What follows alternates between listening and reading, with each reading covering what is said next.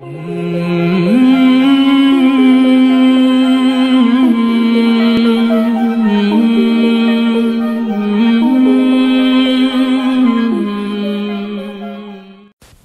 علیکم ورحمۃ اللہ وبرکاتہ۔ اچھے اور برے دوست کی مثال۔ یا آپ اس کو یوں سمجھ لیں کہ اچھی اور بری صحبت کی مثال۔ یا آج کل کے دور میں یہ اچھی اور بری صحبت جو ہے صرف فزیکل ریلیشن شپس تک محدود نہیں ہے کہ آپ پرسنلی کسی سے فزیکلی ملیں۔ اس کا تعلق اس سے بھی ہے کہ آپ کس کو سنتے ہیں، کس کو دیکھتے ہیں۔ لوگ ٹی وی پر یا سوشل میڈیا پر یا انٹرنیٹ کے اوپر کسی بھی جس کو آپ سنتے ہیں، اس سے آپ کا ذہن بنتا ہے۔ انسان کو خبر بھی نہیں ہوتی کہ اس کا ذہن بن رہا ہوتا ہے۔ اس کے سوچنے کا زاویہ بدل رہا ہوتا ہے۔ اس لیے حضور اکرم صلی اللہ علیہ وآلہ وسلم نے اس چیز کی ترغیب دی ہے کہ ان کی صحبتوں میں بیٹھو جن سے تمہارے اوپر ایک پازیٹیو اثر پڑے۔ بجائے اس کے کہ ایک نیگیٹو اثر پڑے اور تم لوگوں سے متنفر ہو کر اٹھو۔ اور اس کی ایک وجہ ہم معاشرے میں دیکھتے ہیں کہ بعض اوقات کیا ہوتا ہے کہ لوگ کسی شخص کو سنتے ہیں اور صرف اسی کو سنتے ہیں اور اگر جس کو سن رہے ہیں اس نے ان کا ذہن یہ بنا دیا ہے کہ میرے سوا سب غلط ہیں۔ تو وہ اسی چیز کو پھر اظہار بھی کرتے انہیں خبر نہیں ہوتی کہ وہ اپنے رویے میں کتنے سخت ہو گئے، کہ وہ اپنے علاوہ کسی کو صحیح نہیں سمجھتے۔ اور جب اس کی نشاندہی کی جاتی ہے تو وہ اور بگڑ جاتے ہیں۔ تو خیر، بہرحال اگر کسی میں کوئی کمی ہے اور اس کی نشاندہی کی جائے، تو نہ اسے برا ماننا چاہیے، نہ اس کے چاہنے والوں کو برا ماننا چاہیے۔ کیونکہ پرفیکٹ ذات تو صرف اللہ کی ہم سب میں خامیاں ہیں، ہم سب میں کمیاں ہیں۔ اور معصوم اللہ کے نبی ہیں۔ اللہ کے رسول ہیں، نہ ہم میں سے کوئی معصوم ہے، نہ خطاؤں سے پاک ہے۔ تو آئیے حدیث مبارکہ کی طرف چلتے ہیں، جسے حضرت ابو موسیٰ العشاری رضی اللہ تعالی عنہ روایت کرتے ہیں۔ حضور اکرم صلی اللہ علیہ وآلہ وسلم کا فرمان پاک کہ اچھے اور برے دوست کی مثال مشک اٹھانے والے اور بھٹی دھونکنے والے کی طرح ہے۔ مشک اٹھانے والا تمہیں تحفہ دے گا یا تم اس سے خریدو گے؟ یا تمہیں اس سے عمدہ خوشبو آئے گی، جبکہ بھٹی جھونکنے والا یا تمہارے کپڑے جلائے گا، یا تمہیں اس سے ناگوار بو آئے گی۔ اس روایت کو بخاری شریف میں روایت کیا گیا ہے، درجہ صحیح کی روایت ہے۔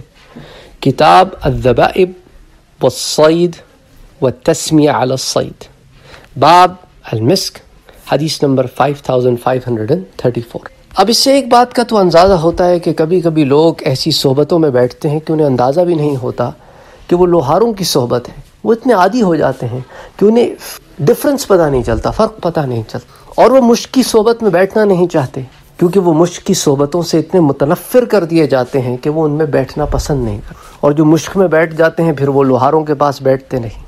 تو انسان کو اس بارے میں بڑا خبردار ہونا پڑتا ہے۔ پنجابی شعراء کے ہاں بھی ایک بڑی خوبصورت شاعری ہے۔ اس کا میں ترجمہ آپ کے ساتھ شیئر کرتا ہوں کہ برے دوست کی صحبت ایسی ہے جیسے لوہار کی بھٹی کہ آپ اپنے کپڑوں کو اس سے جتنا بھی بچا لیں مگر کپڑوں پر اس کی چنگاریاں ضرور پڑیں گی۔ جبکہ اچھے دوست کی مثال عطر بیچنے والے کسی ہے کہ جس سے آپ اگرچہ عطر نہ خریدیں مگر اس سے خوشبو بہت آئے گی۔ کہ برے بندے دی صحبت یارو، یہ بڑی پیاری پنجابی زبان کی چھوٹے اشعار ہیں، بہرحال۔ تو اس حدیث پاک میں اچھی اور بری صحبت کے درمیان فرق کو ایک مثال کے ذریعے بیان کیا گیا کہ مشک بیچنے والے کی ہم نشینی سے نفع ہی حاصل ہوتا ہے۔ کیونکہ مشک بیچنے والا ہو سکتا ہے کہ تحفے میں مشک دے دے یا پھر کبھی بندہ خود ہی اس سے خرید لے۔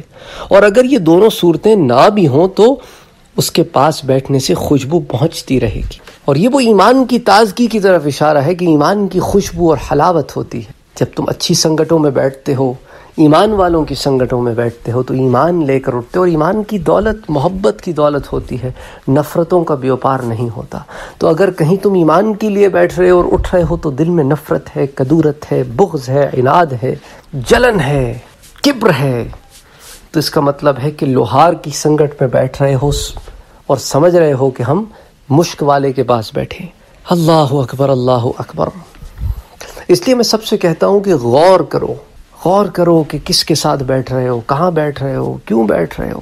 اس پر، اس کا تم پر کیا اثر پڑ رہا ہے؟ اچھا کبھی ایسے ہوتا ہے کہ شاید تمہاری پچھلی سنگتیں اتنی خراب تھیں کہ اب تمہیں لوہار کی سنگت بھی اچھی لگ رہی ہے۔ اور یہ سمجھنے لگ گئے ہو کہ لوہار کی سنگت ہی صحیح سنگت ہے۔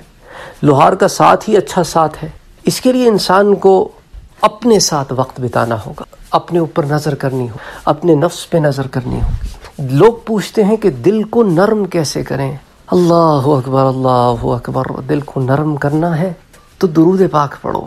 درود پاک پڑھو اور اپنے دلوں سے قدورتوں کو صاف کرو۔ اور کبھی یہ نہ سمجھو کہ میں بہت اچھا مسلمان ہوں۔ اور کبھی دوسروں کو یہ نہ سمجھو کہ وہ برے لوگ ہیں۔ جب تم دوسروں پر زیادہ نظر رکھو گے اور اپنے پر کم رکھو گے تو پھر کیا ہوگا؟ اس کا نتیجہ یہ نکلے گا کہ دل سخت ہو جائے گا۔ اس لیے فرمایا کہ ہم نشینی جو رکھو تو مشک والے کی تو اس سے کسی نہ کسی صورت میں تمہیں فائدہ پہنچے گا اور جبکہ بھٹی دھونکنے والے کی صحبت میں بیٹھنے سے تکلیف پہنچے گی، ضرر پہنچے گا۔ کیونکہ ممکن ہے کہ بھٹی سے اڑنے والی چنگاری کپڑے جلا دے اور اگر کپڑے محفوظ بھی رہیں تب بھی اس کے پاس بیٹھنے سے دھواں تو پہنچتا ہی رہے گا۔ اسی طرح نیک و بد صحبت اختیار کرنے کا معاملہ ہے۔ نیک لوگوں کی مجلس اختیار کرنے سے ہمیشہ نفع ہی ہوگا اور برے لوگوں کی رفاقت سے ہمیشہ ضرر پہنچے گا۔ علماء کرام نے اسی لیے لکھا ہے کہ کیسی پاکیزہ مثال ہے جس کے ذریعے سمجھایا گیا ہے کہ بروں کی صحبت فائدہ اور اچھوں کی صحبت نقصان کبھی نہیں دے سکتی۔ بھٹی والے سے مشک نہیں ملے گا۔ گرمی اور دھواں ہی ملے گا۔ مشک والے سے نہ گرمی ملے گی، نہ دھواں۔ ہاں خوشبو ضرور ملے گی۔ مشک والے سے مشک خرید لینا یا اس کا مفت ہی دے دینا اعلیٰ نفع ہے، جس سے ہمیشہ فائدہ پہنچتا رہے گا۔ اور صرف خوشبو پا لینا، یہ ادنا نفع ہے۔ تو اس کو یوں سمجھو کہ ان کی سنگتوں میں بیٹھو گے تو وہ وقت جو تم کہیں اور بتا سکتے تھے، وہ وقت تم نے اب اچھے سنگت میں، اچھے ماحول میں، ایمان والوں کے ساتھ بتایا ہے۔ تو اس کا تمہیں فائدہ پہنچے گا۔ اور اگر ان کی صحبتوں سے کچھ سیکھ لو، اپنا لو، اس سے اپنی زندگی بدل لو، تو یہ اعلیٰ نفع ہے۔ لیکن بری صحبتوں میں، بری سنگتوں میں نفع نہیں مل سکتا۔ تم غلط جگہ نفع تلاش کر رہے ہو۔ اللہ اکبر اللہ اکبر۔ خیال رہے کہ ابو جہل وغیرہ دشمنان رسول اکرم صلی اللہ علیہ وآلہ وسلم، ان کی صحبتوں میں جو لوگ رہے، ان کی باتوں میں جو آئے اور بدر میں مارے گئے قیامت کے دن جب اٹھیں گے تو اپنے ان دوستوں کو روتے ہوں گے کہ ہم نے ان کو کیوں سنا؟ قرآن کریم اس پر گواہ ہے کہ کہیں گے کہ لم اتخذ فلانا خلیلا کاش ہم اسے دوست نہ بناتے۔ اس نے تو ہمیں برباد کر دیا۔ ہم محمد مصطفیٰ صلی اللہ علیہ وآلہ وسلم کے اپنے درمیان موجود ہونے کے باوجود ان سے استفادہ نہ حاصل کر سکے۔ اللہ اکبر، اور بیٹھے رہے لوہاروں کی مجلس میں اور سمجھتے رہے کہ ہم اچھے ہیں۔ اس لیے مجلس صالحین بہت ضروری ہے۔ امام نوابی رحمۃ اللہ علیہ شرح صحیح مسلم میں کتاب البر والصلاح والآداب میں باب استحباب و مجالس الصالحین میں فرماتے ہیں، جلد آٹھ صفحہ 178 پر۔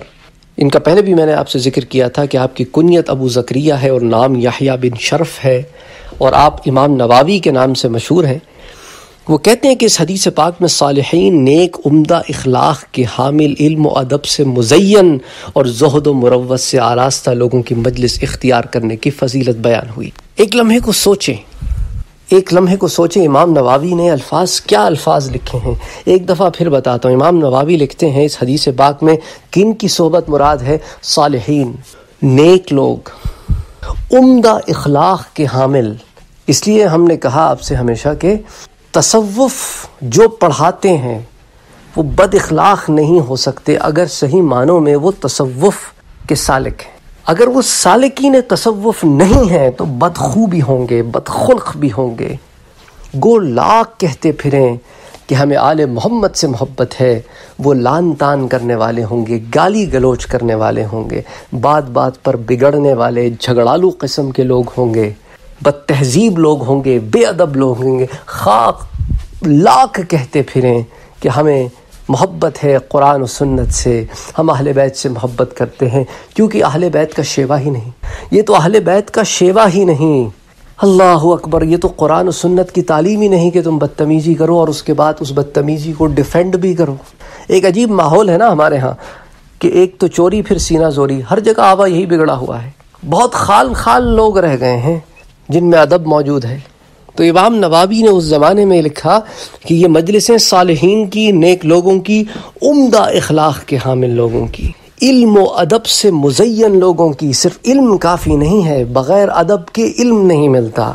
یہ بات یاد رکھنا۔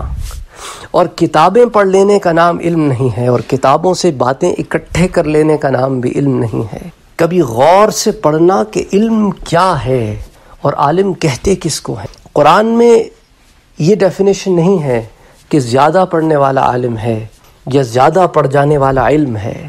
کبھی دیکھنا کہ علم ہے کیا؟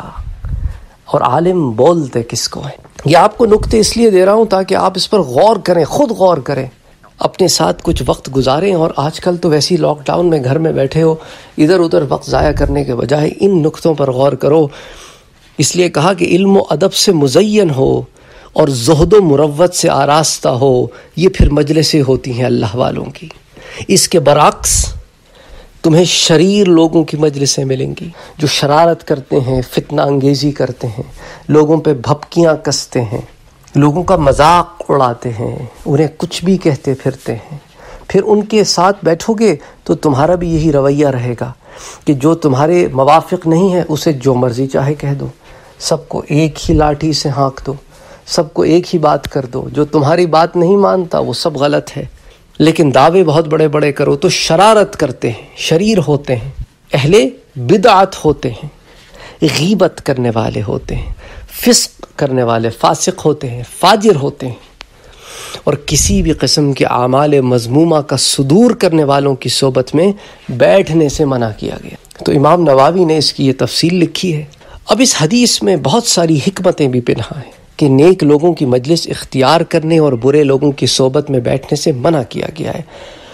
علامہ ملا علی قاری نے حضور اکرم صلی اللہ علیہ وآلہ وسلم کے اس فرمان کی بڑی پیاری حکمت بیان فرمائی ہیں چنانچہ فرماتے ہیں کہ حدیث مذکور میں علماء و صلحاء کی مجلس اختیار کرنے اور فسق و اور فاسقین اور فاجرین کی صحبت سے اجتناب کرنے کی ترغیب دلائی گئی۔ کیونکہ نیک لوگوں کی رفاقت دنیا اور آخرت میں فائدہ مند ہے، جبکہ شریروں کی ہم نشینی دونوں جہانوں کو برباد کرنے والی ہے۔ بھلے لوگوں کی مصاحبت بھلائی اور برے لوگوں کی مصاحبت سے برائی ہاتھ آتی ہے۔ جس طرح ہوا جب پاکیزہ چیز پر گزرتی ہے، تو خوشبو مہکاتی ہے۔ اور جب گندگی پر گزرتی ہے تو بدبو سے ماحول کو ناگوار کر دیتی ہے اور برائی انسان کی جانب بہت تیزی سے بڑھتی ہے اور بہت جلد انسانی طبیعت میں سرائیت کر جاتی ہے۔ الغرض صحبت بہت مؤثر ہے، اسی لیے اللہ تعالیٰ نے قرآن کریم میں ارشاد فرمایا صورت التوبہ میں کہ یا ایوہ الذین آمنو، اے لوگوں، اے وہ لوگوں جو ایمان لائے ہو، تو یہ ایمان لانے والوں سے خطاب کیا ہے۔ رب نے ایمان لانے والوں سے خطاب کر کے فرمایا ہے کہ اتق اللہ۔ اے ایمان والوں، اللہ سے تقوی اختیار کرو۔ بی گاڈ کانشیس اپنے ضمیر میں، اپنے معافظ ضمیر میں اس بیچ، اس بات کو رکھو کہ تمہیں ایک دن اپنے رب کے آگے حاضر ہو کر اسے جواب دینا ہے۔ اتق اللہ۔ اور ساتھ ساتھ فرمایا، وَكُونُوا مَعَ الصَّادِقِينَ۔ اور سچوں کے ساتھ ہو، سچوں کے ساتھ ہو۔ ملا علی قاری رحمۃ اللہ علیہ کے اس قول کو مرقات المفاتیح کتاب الاداب میں باب الحب فی اللہ ومن اللہ میں حدیث نمبر پانچ ہزار دس کے تحت روایت کیا گیا ہے۔ یہ جلد نمبر آٹھ ہے، صفحہ number seven hundred and forty two. تو اب آپ اس میں دیکھیں کہ مرقات المفاتیح میں اس قول کو کتاب الاداب میں روایت کیا گیا یہ بات ادب کی سنگتوں اور صحبتوں کا تعلق ہی ادب سے اور بے ادبوں کے ہاں یہ چیز آپ کو ملتی نہیں۔ اس لیے وہ کبھی ادب کی بات ہی نہیں، وہ اپنی بے ادبی کو ڈیفینڈ کرتے ہیں کہ ہاں بھی ماحول ہی ایسا ہے۔ ارے ماحول ہی ایسا ہے تو تم اچھے بنو نا۔ تم اس ماحول میں کیوں رچتے بستے ہو، اس کے جیسے ہو جاتے اگر تمہیں لگتا ہے کہ باقی لوگ غلط کریں تو تم ایک اچھی اگزامپل سیٹ کرو۔ اس لیے دیکھیں انسانی زندگی پر اچھے اور بری صحبت کا یقیناً بہت گہرا اثر ہوتا ہے اور علم و عمل کے پیکر اخلاق حمیدہ سے متصف زہد و ورا سے آراستہ لوگوں کی ہم نشینی یہی بہتر راستہ۔ یہی بہتر راستہ اس سے انسان میں تقوی بھی پیدا ہوتا ہے، پرہیزگاری بھی، فکر، آخرت کا جذبہ بھی پیدا ہوتا ہے۔ اس کے برعکس، جب فاسقوں، فاجروں، بے عمل و بدکار لوگوں کی رفاقت انسان اختیار کرتا ہے، تو پھر بدکاری، سرکشی، بے باکی، اس میں بہت زیادہ آ جاتی ہے۔ شرم و حیا کا عنصر ختم ہو جاتا ہے۔ زبان سے ایسے الفاظ نکلتے ہیں، ہاتھوں سے ایسے الفاظ لکھے جاتے ہیں، جس پر پھر ندامت ہوتی ہے۔ شرمندگی ہوتی ہے کہ ہم نے کیا لکھ دیا، یہ ہم نے کیا کہہ دیا۔ اگر احساس ابھی بھی زندہ ہے اس لیے بری صحبت کا برا اثر ہوتا ہے۔ جب گند سنو گے تو گند نکلے گا۔ جب سارا دن بیٹھے ہوئے ایسے گانے سنو گے جو فوج ہیں، جو گندے ہیں، جو غلیظ ہیں جن میں گالیاں ہیں، تو پھر یہی دماغ میں چلتا رہے گا۔ اور جب قرآن پاک سنو گے، اس کا ترجمہ سنو گے، نعت رسول مقبول صلی اللہ علیہ وآلہ وسلم سنو گے، اور وہ بھی پھر ویسی کہ عقیدے میں صحیح ہو۔ تو پھر اس کا اثر بھی صحیح آئے گا۔ تو برے لوگوں کی صحبت میں بیٹھنے سے وقت کا ضیاع بھی ہوتا ہے اور بری صحبت میں اٹھنے بیٹھنے کی وجہ سے شخصیت بھی متاثر ہوتی ہے اور معاشرہ بھی آپ برا اثر لے کر جاتے ہیں۔ جبکہ اچھی صحبتوں میں انسان اپنی حیوانیت سے نکل کر روحانیت کی طرف بڑھتا ہے۔ رحمت کی طرف بڑھتا ہے، ظلم و ستم، جہالت نا انصافی اور بے اعتدالی کی زندگی سے بچتا ہے اور امن و سکون، رواداری، اخوت و بھائی چارہ عدل و انصاف اور محبت کی طرف بڑھتا ہے۔